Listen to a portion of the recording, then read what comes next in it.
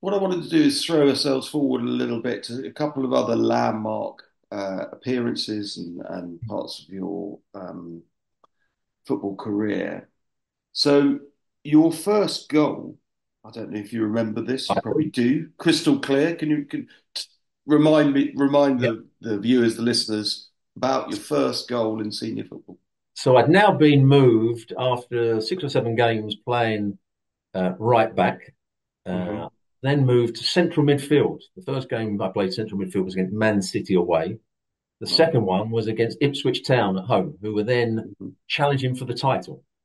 Um, uh, and I'll always remember its first half. It was on a on a bobbly pitch near probably I would say March time, and Yep.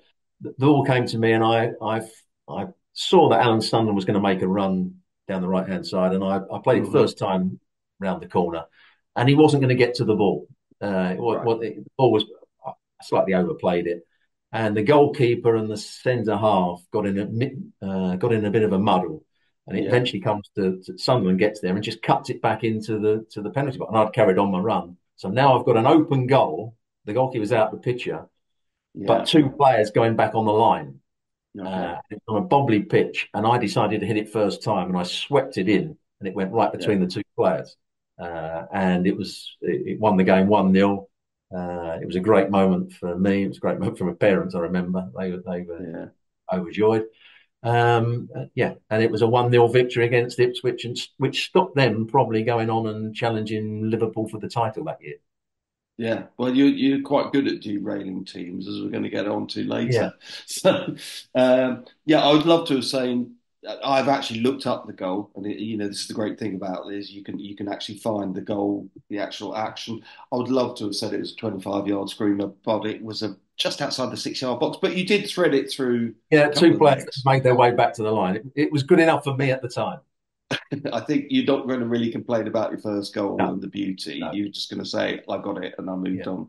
Um, because then looking at the way your Arsenal career went, so you you established yourself in the side, and then you became one of the stalwarts, you could say, because I think you played 83, 84, you played about 30 games. And in fact, you had had a good run in team 82, 83, and then you got injured in the last game was actually against Coventry. So again, another one of these coincidences because you ended up going to Coventry. But 83, 84, 30 games, and then 84, 85 was really, as you said, the breakthrough year because you played 40 of the 42 matches because it was a bigger division then. And you were player of the year. So is that something you remember with a lot of pride and Yeah. something, a game where you think, right, next level, we're, we're moving on? See, I, I, I'd have to, to, to mention this now because this is something that always uh, bugs me a little bit is that because people look at the stats when you played, how many games you played, people assume you were not in the team. Never once in my whole career was I left out of a team. Okay. So that, that it was only the only reason I was out of sides was because I was injured. Yeah. And that's that. So when I when I declared myself fit to play, I would Yeah. always I would always be picked. So so it's quite often when if you look at Wikipedia, couldn't get back into the team or couldn't do this. Well, that wasn't the case. The, the, Yeah. the case was I was injured. I had, a, I had a two uh, at West Ham. I had 18 months where I was injured. So you, you can't play when you're injured. Uh, so Yeah. uh, I from the when I got into the Arsenal team at that particular time, uh, we're talking about that first game. I was never out the side unless it was through an injury. Yeah. So I never. So from one season to the next, I could never say, "Oh, that was a good season," or "That was a, a, a, you know, I was left out the team there." That never happened. It was a case Mhm. of when I was fit, I played, but I had more injuries uh, in certain seasons than than other ones. And the season that I got the actual Player of the Year, uh, that 85, 86, I think it was, hmm was building up to the World. That's when I had a lot of injuries during that season in the in the latter half of it, which was a, which was a shame.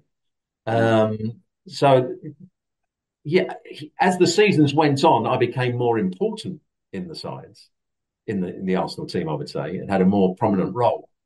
Uh, in the 80, uh, in the second season, I went from right back at times. I played a lot of games at centre half. We got to two semi cup semi finals. In all those games, I played as the centre half alongside either Yeah. David Leary or Chris Whyte. Uh, apart from the semi final, again, which I didn't know uh, until um, uh, two hours before the game that I was going to be put back into central midfield to go and uh, play against Brian Robson. Okay. Uh, uh, and I only knew that because Brian Talbot told me because he'd spoken to to Stan Flashman, who was uh, who he'd seen on the, on the, day before. So Terry Neill told Stan Flashman the team, but not us. Right. Okay. Well, you know, Stan Flashman was a, an important figure in in uh, yeah. football in those days, wasn't he? Yeah, he certainly was. So uh, yeah, it was it was a it was a great spell at Arsenal, which I, I loved uh, immensely. Um, uh, we weren't a particularly good team. Uh, there was a we were disjointed. there was mm-hmm. a lot of I would say egos. We were all quite egotistical at the time. I think the, the, the groups didn't always get on with each other. Um, we had, uh, um, yeah, the, there was there was a lot of things. Some of the signings didn't quite work. Lee Chapman never worked uh, when they bought him as a as a 19 year old from Stoke. Uh, Tommy Caton unfortunately didn't work. Uh, he was a very good mm-hmm. player at Man City. Yeah. Uh, so a lot of things didn't quite. We we promised a lot, but you could always tell we were never quite going to be right up at the top and win things because there was always an element of we'd shoot ourselves in the foot somewhere along the line. Mm, yeah, it's. I suppose they've thrown. You know, they also went through an incredibly successful period after this, and uh, and you mentioned the fact that you and George Graham didn't exactly see eye to eye. And when he arrived, that was the end of your Arsenal mm. career, and you went then to West Ham. But you know that idea where a team just has just doesn't get over the line, um, mm. and I mean, you could say of the current Arsenal side, obviously they've been very close in the last two seasons to get in the Premier League, but they're up against the juggernaut that is Man City, and that is a tough thing to break down. If you show any sign of weakness, they're there and they're not going to let you back in. But Arsenal have, say, they did have a golden period where they won the old First Division and then they won the Premier League several times under Wenger. So, did you ever feel like that was just a moment in time where you thought, I just wish I'd been five years later or five years earlier that time? I've never ever thought that. No, I've never. I, okay. I sort of think I wish that would have been the case. I played at a time uh, where uh, I really enjoyed the football. It was quite raw. Football was raw in the early 80s. Uh, mm-hmm. I loved the atmosphere of the games. I enjoyed playing for Terry Neill. I enjoyed playing for Don Howe. And mm-hmm. that's what I would say about my career. When people say, "Well, who do you, who, who's your team?" I say, well, "I haven't got a team." They say, "Well, surely it must be Arsenal. It must be West Ham. It must be Coventry." You know. Yeah. I say, "No." I, mm-hmm. looking back at it, I played for the coaches. I enjoyed playing while I got had a good relationship with the coaches. I didn't enjoy playing when I didn't have a good relationship with the coach. So it doesn't matter what what club you play for, you have to have a good relationship with the coach uh, and the yeah. people you're playing with. Uh, and that was the case for a, a long time at Arsenal. Um, mm. and it's been the case throughout my career that quite often when managers change, well, it doesn't matter if it's if it's even if it's in the um, media industry, that's hmm. changed mm. my thought on the on the way the, the company is. Uh, yeah. And that was the case with West Ham, uh, with with Arsenal, shall I say? Terry Neill. It continued with Don Howe, who I'd got on very well with, uh, who I later worked with at Coventry. Uh, and it didn't work at, with um, George Graham mainly because when he first took over, I was injured. I got picked for the England squad. I went with England to the game I was talking about, Sweden. And when I came back, I said, I can't play at the moment. I said, oh, my injury hasn't improved. I can't play at my best. This was after four games, I think, three games of the season. And he mm-hmm. said he said that I put England before Arsenal which I think said, well, if you'd have been here before, I'd put uh, Arsenal before England yeah. on six occasions when I wasn't quite fit to play. You know, I, I, had a slight injury, and I said, no, I won't play for England. I'll make sure I'm fit for Arsenal the next week. So that yeah. caused the rift. I was then proved right because I had to go and have a, quite a major operation. And it was mm-hmm. while I was having the major operation, it came out in the papers that um, uh, Everton had made an offer, and so had and so had West Ham for me while I was in the, the operating theatre. So yeah, that, that, yeah. That, that, was that was the angst at the time. Wheels upon wheels, you know. There's lots going on that you don't have control yeah. of your destiny, which is true in many walks of life. But a couple of firsts that I like to look at, as well as just your first debut, uh, your debut match.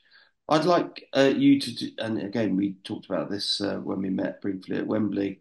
Your first red and only, if I could point out everybody, your first and only red card. Can you just talk to us a little bit about how that came about? Well, I'll tell you that in a minute. But let me tell you, Yeah. if I was playing now, I'd have a lot of red cards. I think. I think the, the game's. Where the game is played Yes. now, you used to be able to get away with a lot more, and it, not Of because course. you not because you were dirty, but because you went into challenges. Think, well, if I get the ball, I get the man. It, you know, it's, it's not. Yeah. You know, it's, it's it, I'm going to put in a strong challenge, and I hopefully get the ball. But now you'd be you'd be sent off for that. But this this game was against Spurs. I Mhm. was still only 17, uh, I think. Um, I might have just gone, no, I might have turned 18 at this point, and we're playing Yeah. Tottenham Hotspur on Boxing Day, uh, 1982. Yes, Um, that's right. And it was at Highbury. There was a, uh, it's obviously the biggest game of the season for Arsenal Yeah. and Tottenham fans. There was 55,000 people there, I think Mhm. and I was playing centre half uh, against their um, front two of Archibald and Crooks, who were there, sort of, uh, you know, and Yeah. obviously Hoddle was playing, and Ardiles, and all these players. Mhm.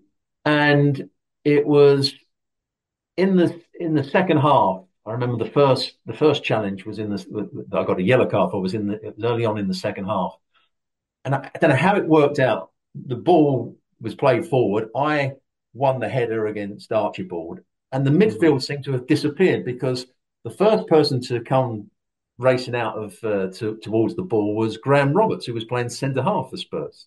Now I'm playing centre. So where the midfield players were, I've got no idea. And we both had about 15, 20 yard run at it. Yeah. And I he had a reputation for being a very aggressive player, particularly when he played against Arsenal. Yeah. And uh, I thought he was going to go over the top and or, or Yeah. go as far as he could. And so I thought I'd better match it. Well, he Mhm. did, unfortunately. Ah. So I, I, he almost did a, an ollie as I went past him and went past the ball. And and and Steve Perryman was very quick whenever I played. We played against Spurs to point out to the referee that I was the player. He had to. The referee had to watch. He, he, he'd say it right before the game, and he was straight over to the referee. I told you. I told you that. You know. So I got a yellow card. But that wasn't the sending off. The sending off was later on in the game when we were one 0 up, and the Mhm. right back had gone missing, and I'm playing centre half. As anybody that watched Tottenham in those days will know that Glenn Hoddle would ping a ball from the right hand side all the way across to the left for Tony Galvin to take into his path and run towards goal.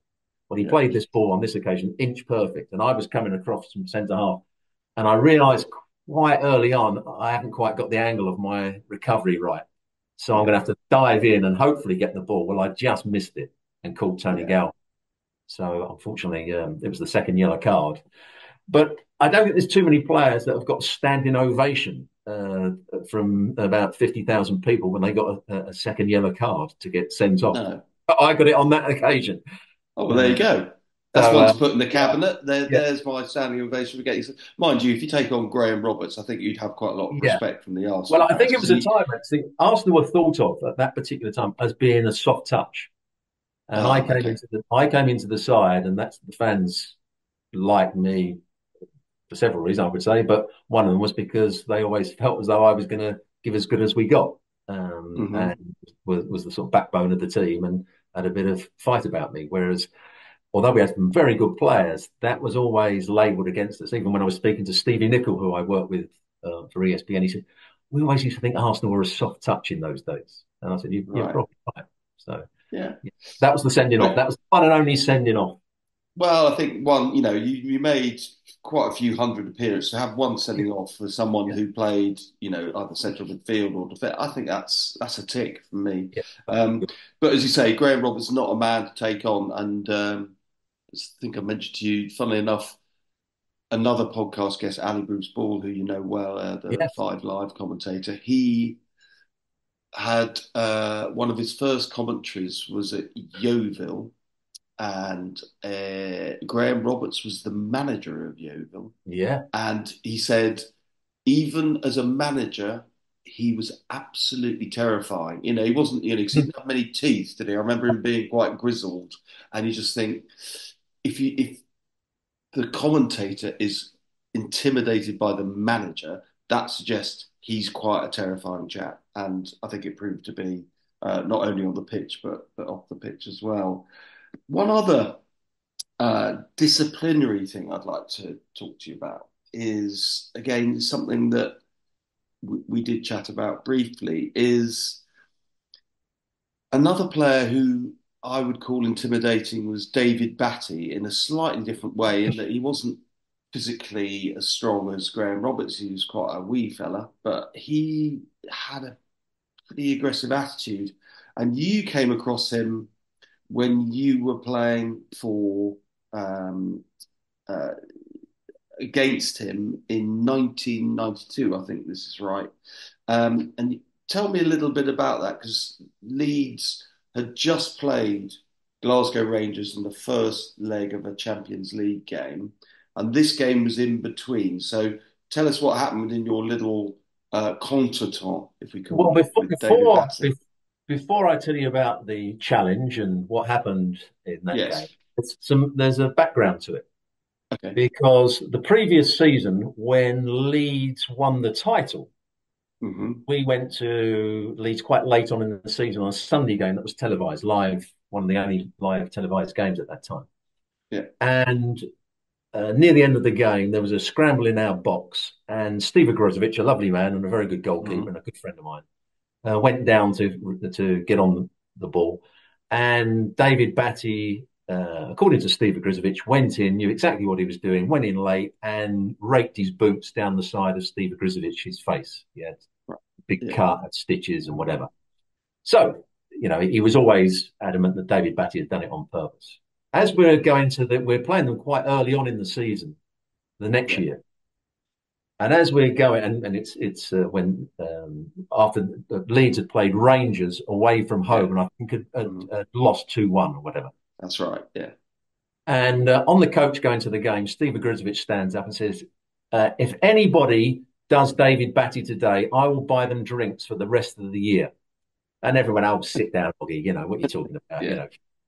And when we played the game, and uh, mm, I don't know 25 minutes into the first half, David Batty hmm was also quite arrogant on the ball, where he liked to leave it till the last minute to flick it Yeah. off and sort of almost come, invite you to make a challenge. Come on. Yeah. Well, on this occasion, I'm in midfield and I'm coming from the other side, and I don't think he'd seen me coming. So I thought I've got a chance now to to really get stuck into it and, and win the ball. That's the, that's my main to win the ball. And um, but I, had a, I I slid in, and just as I slid in, he stepped across the challenge and flicked the ball somewhere else, and I caught him. You know, it, it, it didn't seem as though it was that bad, but he stayed down hmm and um, he stayed down, and uh, they eventually put the stretcher on, and Right. he was stretchered off much, to, and he was looking at me and shouting a few things out, and uh, one or Of two of the crowd, Yeah. well, a lot of the crowd, as you know from Leeds, were not particularly pleasant. No. But I got a call from um, Steve Ogrizovic, uh, who was in goal, forty yards Yeah. away. We, we, he said, "Can- can-" so I ran towards him. He ran towards. He said, "Does that mean I owe you beers for the whole of the, uh, the rest of the year?" I said, "Well, mm, "Probably." Uh, he- mind you, he never did buy me a drink for it. So Oh, well, well. David Batty, David Batty didn't play in the second game. Uh, Leeds lost at lost at home or drew to Rangers at home. Yeah, no, they lost 2-1 as well. So they yeah, they went out to Rangers. went out Yeah, of the Champions League, and everybody suggested that the reason they went out of the Champions League was because I'd tackled David Batty and, and put him out of the game. So yeah, I, I was a villain for a little uh, for a couple of years when I went to Leeds. Yeah, I'm sure you, you didn't go down that as sort of their the Yorkshire version of the chicken run No, no, no. Uh, although, no, not quite that bad.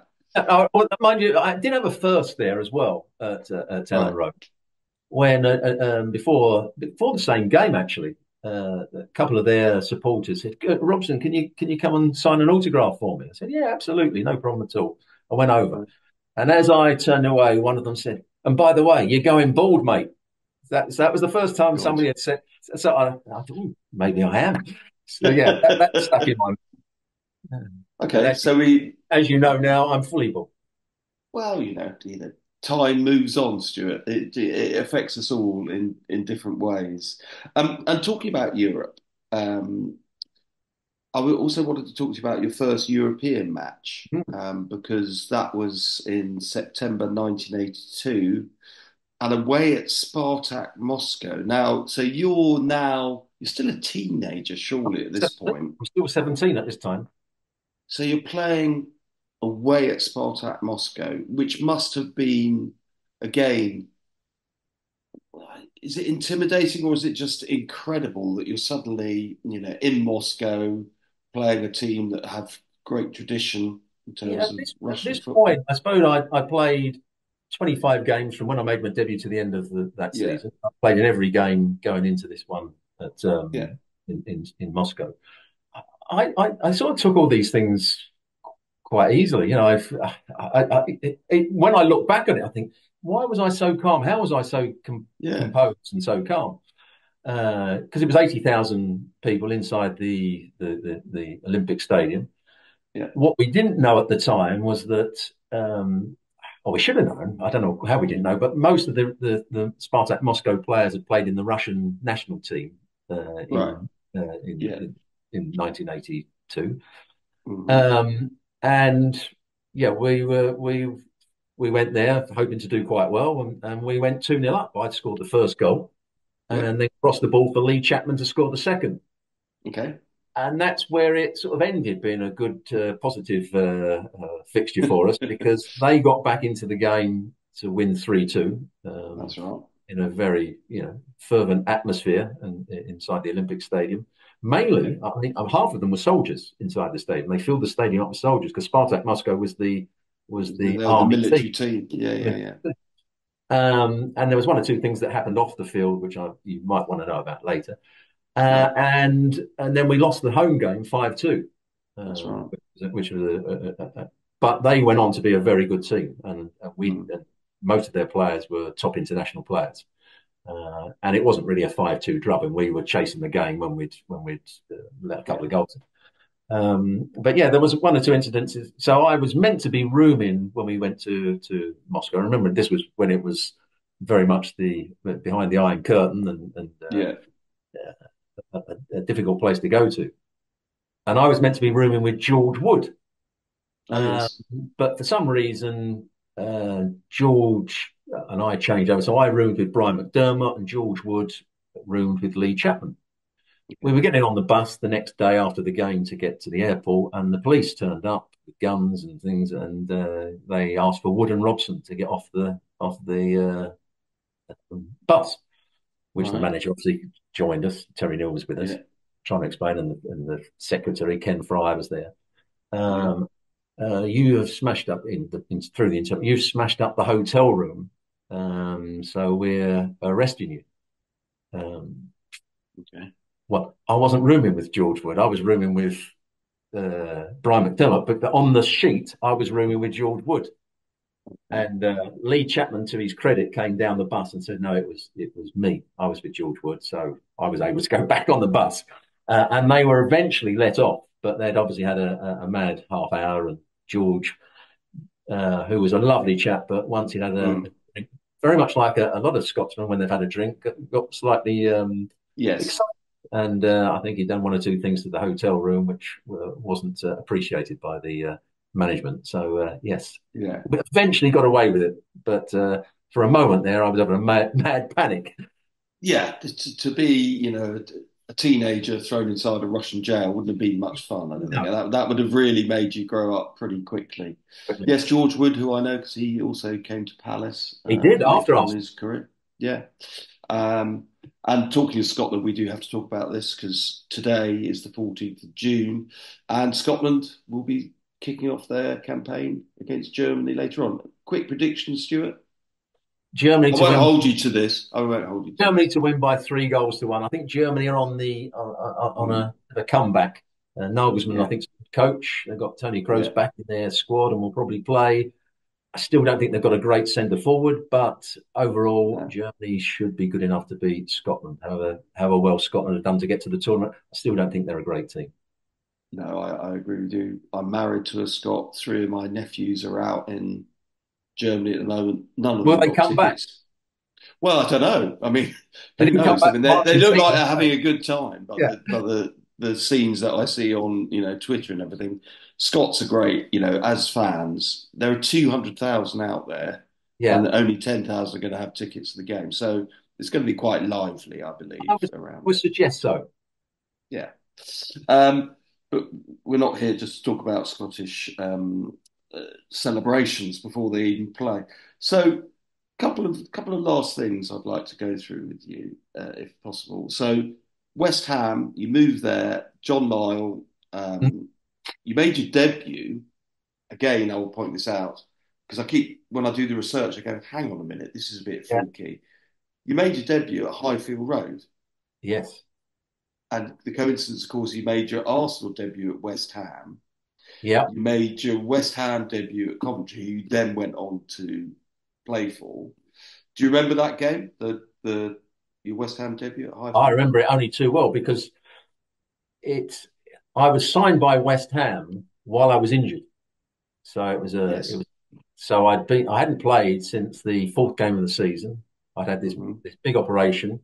Uh, I was then signed by West Ham, having not played any reserve games or anything. Um, It was a big risk, uh, and I didn't play. They had a couple of games which I didn't play because I, I I I said I played for the reserves. So I played for West Ham reserves for for actually only one game. We played QPR, and then there was a cup game against I think they played Orient in the cup West Ham, and then I was going to play against Coventry away from home. Yeah. and it couldn't have gone any better really, uh, apart from getting a yellow card within five or ten minutes uh, for a tackle on uh, Micky Gynn, I think it was. Um, and uh, I hit the post early on, uh, Mhm. and I created a goal for one of the goals for Tony Cottee, and I think we won the game three one, if I'm not mistaken. And Tony Cottee scored Yeah. a hat You're absolutely Uh, correct. Yeah. and it was a really good performance, and we, we played well on the day, uh, and yeah, it couldn't have gone any better um, Yeah. for me. The, yeah. The only problem was having not played for for so long, I was absolutely shattered. And then we had another game on the Tuesday night, which was against Spurs in the League Cup quarter final Right. um, which um, uh, didn't go quite so well for for us and, and, and as a team. So yeah, Yeah. It was but it was a, it, I really enjoyed the debut. It was a it was a great place to play. There was a big travelling uh, West Ham contingent. Uh, Mhm. played on a nice slick pitch. Uh, everything went our way. Cottee scored a hat trick. Um, we we completely dominated Coventry, who were a decent side at the time. So yeah, was a pleasing debut there. And again, you mentioned injuries because you say you did have quite a few injuries that unfortunately took you out. Um, and in fact, in October 1988, in a 4 1 loss, and this is ridiculous, to Arsenal at Upton Park, you got injured. And I think that was almost your last game because You then were out for a bit and then you moved to Coventry. Uh, was it Terry Butcher was the manager at Coventry at the Terry time? Butcher was the manager. The the injury against against it wasn't really an injury against Arsenal. It was an injury that had been going on for a long time. Okay, So- right. And then, uh, I mean, and I had a an operation that only two players have ever had, and it should never have been done. Wow. One being Wow. Trevor Brooking, and the other being me, Yes. By the. West Ham surgeon at the time, who came up with this uh, operation that he thought would save uh, people's problems in terms of groin strains. And he took a bone out of my hip and put it into my pelvis to Wow. fuse my pubic symphysis. Uh, and six months after, I'm worse than I was before the operation. So I had to go and find my own treatment. Um, I had to rehabilitate at a place where all the top athletes were, were working. I had to pay for it myself as well because the club was saying, well, you can't go elsewhere. And I said, well, if I stay here, you haven't got a qualified physio. The surgeon doesn't know anything about the rehabilitation. Um, I'm never going to play again. So I went and and and th- that was the that was the biggest achievement of my career, uh, without doubt, was to play again at Coventry and become Player of the Year at Coventry and their captain. That was without doubt that was my biggest achievement. Forget all the other stuff. To come back with all the adversity, with all the problems I had with the injury, and what the injury still causes me now, because you should have movement in your pubic symphysis, and I don't. So it Right. caused me all the problems in the back. All the rehabilitation I had to go through, all the fighting I had to go through to get the right treatment away Mm. from the from the club. Um, the club then, like West Ham, sort of almost didn't want me to get fit because it would be uh, Yeah, saying of a sign that they hadn't helped you. yeah. Uh, and so that was that was the biggest achievement by a long way. And again, you talk about um, coincidences. I get the Player of the Year uh, for Coventry on the last home game of the season in front of it was actually 30, I think 28, 29,000 mm-hmm. people. Who were they playing against? West Ham. West Ham. So I go and collect the uh, trophy on the pitch in front of all yeah. the Coventry supporters and in front of the West Ham fans who we beat 1 0 and West Ham were relegated. So it was quite a it was quite a, a, nice day for me and probably a bad day for the West Ham hierarchy and the management at the time. Sort of cool rubbing your nose in it, but not, you know, it's not in a deliberate way because you were the player of the year at Arsenal, year. you were the player of the year at West Ham once. So there's a theme here, Stewart. There's a theme. Yeah, I mean, in fact, the last three full years I had, I was the player of the year at each club because I only had one full year at West Ham where I played yeah. all the games when I wasn't injured, and I had and I, and I, and I only had one full year at Coventry before I was injured. So yeah. the last season at Arsenal, the one season at West Ham where I was played all the games, and the one uh, season at Coventry when I played all the games, I was player of the year at all three. So, wow. it, so when I was fit, I knew I could play, but unfortunately, I wasn't fit enough in the last few years of my career. Yeah. Um, what might have been so a couple of last questions because I've really enjoyed going through all your stages, and as you say, you you arrived as a young, you know, seventeen year old, and you made it, and then you went through all these various, you know, the three clubs mm. and the injuries, but you're still, as you say, player of the year when you actually play. Can you remember playing in the, the opening match of the Premier League? Uh, the opening match of the Premier League was for Coventry yes. against Middlesbrough.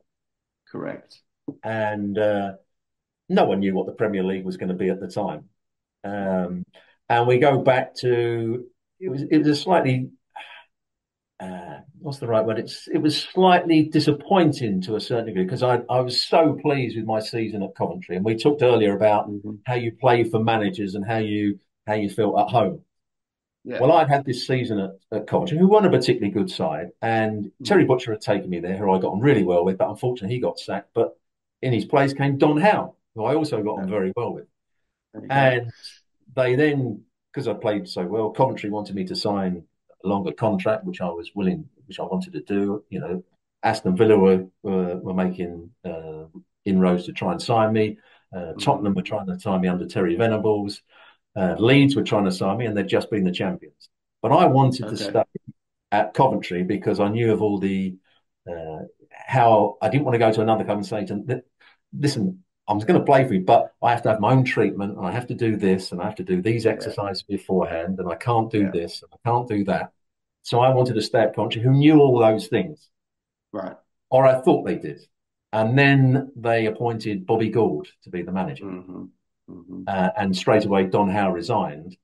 And again, that caused the problem in my relationship with, with Bobby Gould. So going into that first game of the season, there'd already already been problems. I was the captain of the club, uh, and my wife was expecting uh, a second child.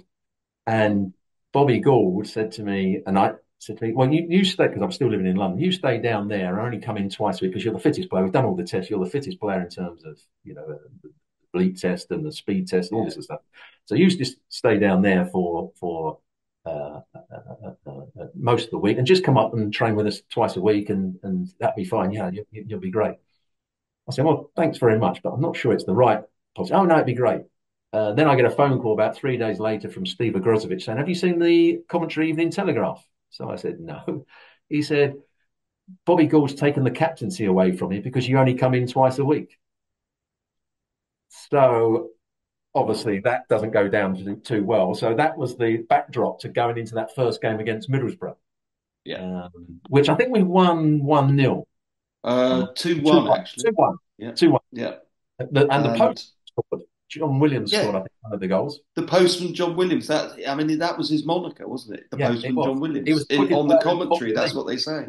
He was the quickest player in the Football League at the time. He'd won the, the, wow. the sprint race that they had. Oh, when they used to have it at the League Cup final, didn't yeah. they? As a pre and he, wow. And he, oh, he was quick. Uh, And he, he had a great start and he scored in that game. He scored two against Spurs in the second game, which we drew, which we won 2 0, I think. Um, so it was a good start to the Premier League season. Uh, and that game against Middlesbrough, I think Middlesbrough might have gone down that year. They weren't a particularly good team. Yeah, they did. It's a good start for Coventry. Well, funnily enough, I, as I say, I looked at the very quick match of the day highlights, uh, and you're right that the first goal is scored by, I mean, it's John the Postman Williams, is always called. And I think I crossed with a, a lovely cross by a guy called Stewart Robson. That's right. I remember it well. That was the, that was my favourite little run through the inside right position, uh, Yeah. and then whipping it along the six yard box. That was something that I did on a regular basis at Coventry. It was a it Yeah. was sort of Early on in the game, nine minutes Yeah. bang, and there you go. And then, uh, yeah, you you ended up winning two one. So there are there are two other things I wanted to talk to you about because we've talked about you know your professional pl playing career and how that's come along. Um, can you remember the first game you actually went to as a spectator? Now I looked this up because I knew obviously we were going to be on the show, Yeah, and I haven't got great memory of it. Um, but I what I do know it was in 1971 72 I think okay, it was Tottenham Hotspur against Nottingham Forest. okay, And the reason I went to the game was because my uncle and cousins, uh, so my Yeah. mum's brother, they'd moved up to Grantham, uh, oh, Lincolnshire, Yeah, Lincolnshire, and they became Nottingham Forest fans. yes, And they they started to follow the team around, and they came down for this Spurs game. And you know, those were the days where you didn't have to have a ticket; you just went there and paid. And Yeah. they said they would take me to the game. So I went to the game, and bizarrely, I can remember just in in, in the in the uh, back of my mind, you were able to walk all the way around the inside of the ground. So when Nottingham Forest were attacking one end, you Mhm. you stood behind that goal, and then at half time, you walked all the way around and stood behind the other goal. Whether the other fans did the same or not, I don't remember. All I remember is that. But unfortunately for my my uncle and my cousins, the game was six one to Tottenham. That's Oh. all I remember. Uh, Oh well, um, you know, you got to start somewhere, and uh, th- that wasn't such a great start. But um, so that you know, White Hart Lane, as you say, you could walk around the ground, which again, fans of today, younger generation, would not Understand. understand how that works uh, at all. I think- it would be I think you started at one- and they opened a gate, and you could walk along Yeah. the, the the side, and they opened the gate at the other end, and you got into the other end. And that's what what fans did in those days. different world, different world, Yeah. Stewart. Um, my my last question really is because obviously you've moved from being a player into the commentary box. Hmm. Can you remember the first game that you were uh, a commentator, stroke co-commentator, stroke pundit? Is that something that is fresh in your mind? Um, not particularly fresh in my mind because there was all sorts of things I did. So there were reporting, there was radio commentaries, uh, Mhm. TV commentary. They they were all mixed together. It was um, so I can't. But what I will say is the first World Cup game that I commentated on. Yeah. um, with John Champion. Um, uh, and we were, I was working for ESPN. I've been doing commentary for a lo- uh, quite a long time, but we went to the World Cup in Brazil, and Mhm. uh, it was a great experience. Six weeks away with a little team, we went all around the all around the country. And the first Yeah. game we did, um, I think it was in. Um, oh, oh, I can never, never. It wasn't Fortaleza. It was the other one we went to that we, where we stayed. But it was the famous game where the Dutch beat the Spanish. Oh Uh, yeah. and uh, Van Persie They scored just beat great they just They absolutely five two. I think it was, or five Yeah, five yeah. two. Five And one. Van. Persie scored, yeah, Van Persie the scored flying header. flying header. Uh, and it was just that I, I can remember. I don't get nervous when I'm doing commentaries, but I can always remember being really nervous that day because suddenly this was almost like playing again. We were we were going to be going out into a massive audience, um, and you think, "Am I going to get the words out?" When John Champion introduced me, is, Mhm. is my mouth going to be dry? Am I going to get the words out? And I just remember that being the most nervous I've ever been um, doing a, a, a co-commentary. Never been nervous since or before, but that was the game where it just seemed that, as though you'd moved to a different level. Uh, and this was Yeah. now massively important, and you couldn't get anything wrong. Uh, Yeah. But a great experience. Well, I- am sure John Champion, knowing him well, would have been a guiding hand. He wouldn't have wound you up at all, Oh, not at all. No, no. He, he didn't make you feel more nervous by saying we've got to get this right because we're working for we're working for a new company. He took me out. He, he probably won't tell you this, but we went No. before we went to the the the city where the game was going to be played. We were staying in the um, Rio de Janeiro in the in the in the Marriott, right opposite the Yes. Copacabana. Mhm. And um, he said, "Should we go for a little walk?" And uh, so I said, "Okay." I said, "He said we might as well see the Coca Copacabana just for um, uh, you know one last time." Yeah. But anyway, yeah, oh, okay. You know, we've been warned that you shouldn't be walking down there because there's all sorts of problems, and we're Yeah. walking along. And I realised that this was his little pep talk to me, you know, because we hadn't Okay. worked together before.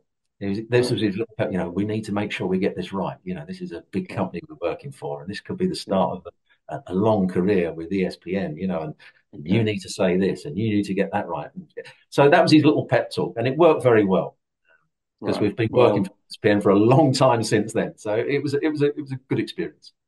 okay. So he obviously set the ground in the in the right way, but um, I think that's a pretty good place to end because we've travelled with you. So you were coming to your first ever match on the train from, you know, as you say, from Canvey Island mm-hmm. m- ended up in Fenchurch Street, being get, getting in a car with Brian McDermott. We'd been through your little contretemps with Graham Roberts and with David Batty, and then we've ended up with you alongside John Champion on Copacabana Beach, and that is a journey that all of us have enjoyed.